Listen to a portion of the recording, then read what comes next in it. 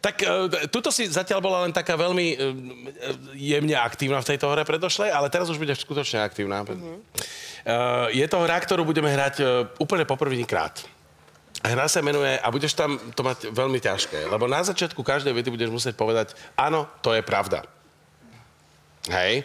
Čiže naši štyri kluci sa premení na novináře, ty budeš mať svoju vlastnú tiskovku. Uh-huh. Hej. A Vždy, keď ti položí otázku, ty budeš musieť povedať, áno, to je pravda a potom to dovysvetľovať nejakým spôsobom. Uh-huh. Je to celkom jasné? Jasné. Dobre, nech sa páči, čiže začína sa hra. Áno, to je pravda, neboli tisková konference. Petri, začínáme teď. Já vítám vás všechny na tiskové konferenci známé české herečky. Eh, Petry Špalkové, což myslím, že to je v pořádku, jak jsem řekl. Prosím, ptejte se, máte na to 20 minut. Odpovídáme na všechny otázky. Prosím. Pan Čermák, rudé právo, prosím. Já to chtěl říct. Eh, Petro, já jsem uh, rád, že, že jste tady dneska. Chtěl jsem se vás zeptat. Uh, je pravda, že vy v dětství jste... že Pocházíte z Brna? Ano, to je pravda. A uh, slyšel jsem, že pocházíte z takové určité části Brna, kde byly takové, hm, jestli to můžu říct tady před ostatními kolegové, se jistě také budou ptát, takové různé, uh, různé zvyky. Uh, promiňte, že se takhle zeptám. Je pravda, že jste jedli kočky? Ano, to je pravda, ale um, vlastně, když jí, nejste vegetarián a jíte jakékoliv zvíře, tak proč zrovna ne kočku? Jo, a, a tady živé kočky. Ano, to je pravda, že někdy, někdy vlastně um, vlastně ta chuť na tu teplé maso s tou syrovou krví jako byla, byla veliká, ale vlastně většinou mě k tomu nutili. Takhle. Ano. Tak vám v té době bylo 620, nebo? Ano, to je pravda. A to, ale... už jste měla, to už jste měla obě děti. Ano, to je pravda. Ano, ano, ano.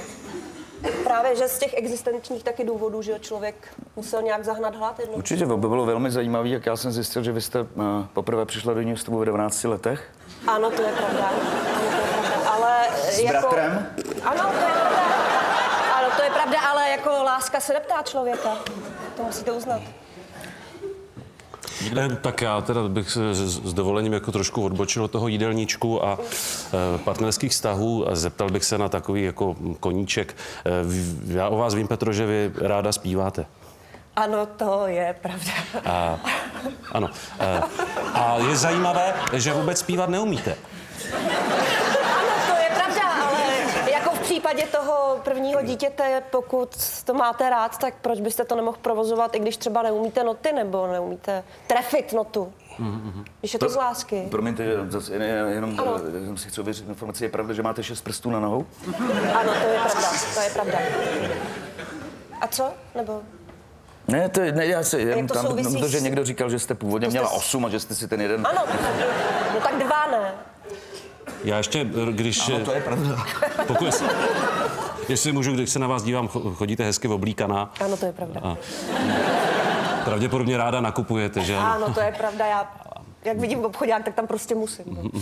A do, doslech jsem se, že snad eh, nepovažujete úplně za nutné zaplatit za to zboží. Je ano. to tak? To je pravda. Já jsem se inspirovala některými kolegyněmi z Hollywoodu a řekla jsem si, že když Vinona, tak proč ne já? Čili si vyberete třeba kostýmek jeden nebo i třeba čtyři kostýmky. Ano, to je pravda. K tomu nějakou košilku, že ano, ano spodní prádlo, ano, to je dvě pravda. podprsenky, ano, to je uh, kalho, troje kalhoty, ano. dáte to do tašky ano. a prostě bez placení odejdete. Ano, to je pravda, ale uh, pochopte, že pro ty firmy je to vlastně způsob nějakýho, nějaký propagace, reklamy. Mhm. Aha. Můžu se ještě jenom zeptat? Ano. Eh, je pravda, že vy jste řekla o tom člověku, který dnes hraje moderátora. Eh, to znamená o Richardu Genzerovi, že to je úplný idiot, trotl a debil? Ano, ano. Ano, to je pravda.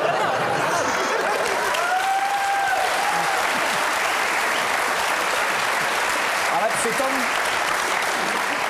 Přitom co? přitom co? No, tak ty ne, tak na ještě já, dobře. Eh, já bych eh, odstoupil těch nepříjemných témat, jako je neplacení tohle. Já jsem o vás slyšel, že vy jako mladá jste milovala seriál Čáry Fuk a že jste vlastně chtěla vypadat trošičku jako Čáry Fuk a že vás do dneška děsí noční můry, že vám nerostou fousy. Ano, to je pravda. Ale je to hodně citlivý téma a já si myslím, že to už je taková hranice, za kterou člověk jako při těch eh, rozhovorech jako nemusí vůbec zacházet. Ale přitom byste chtěla, aby jsme se na to ptali. To pravda, protože zase jako věřím tomu, že tím, že o tom člověk hovoří, tak to trauma nějakým způsobem jako, pardon, zároveň zpracovává. Ale jste v pohodě teďka. Ano, je to pravda. A já navážu na tu první otázku. Vám tedy eh, do dneška nevadí jíst kočky, ale žábu, no, nejlepší kamarádku Čáry no, Fuka no, nepozřete? No jistě, že ne. Ano, to je pravda, nepozřu. Ano, to je pravda, nepozřu. I kdybyste měla třeba umřít hlady, tak žábu ano. prostě. Ano, to je pravda. A vás ale viděli v restauraci z Jabí Stehínka? Ano, je to pravda, no. Hele, já mám někdy takový den, kdy prostě všechno úplně jinak. Mm-hmm. Chápete to? Jo, že se vám prostě změní úplně ten mentál, nebo takhle. Tak já jestli poprosím poslední otázku, jestli ještě něco máte, protože... protože ona za chvilku půjde s trotlem a s idiotem domů, veď?